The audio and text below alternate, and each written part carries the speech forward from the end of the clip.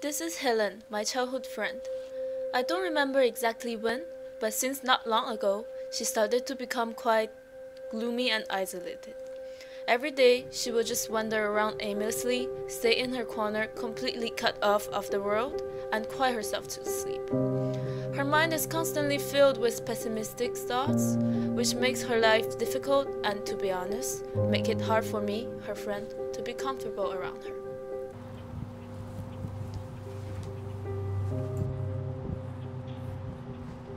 Hey, what's up? I'm not in the mood to speak with anyone. I don't even want to hear what he's saying. People are selfish beings. They don't care about others and often hurt their feelings. I don't want to trust him. What if he has bad intentions? Anyway, when he gets to know me, for sure he will reject me. Like everyone else. Nobody ever appreciated me. I'm just a failure. What? Again? Another A? Man, why are feature articles so complicated and hard to write? Was I not prepared enough? Is it because I rushed it a bit due to the lack of time? It's true that I couldn't read my text once I was done. Ah, I've been bad in English all my life. I might as well stay that way.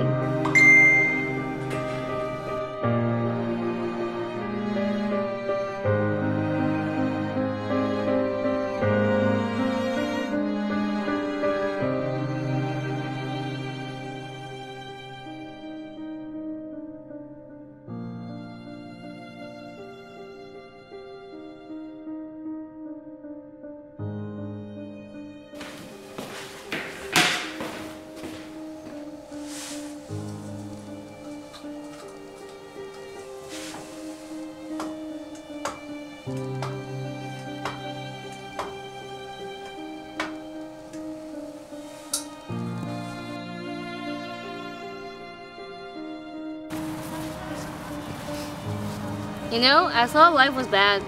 But after all, life is worth living. Helen!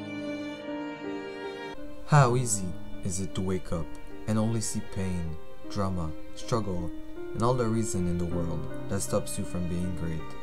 How do you expect change to happen if you don't change yourself? Stop being a person full of excuses sitting around on the pity patty, coming up with every reason why you're not winning. You are the reason you are not winning. Find your light, find your hope, find your way out of your past self.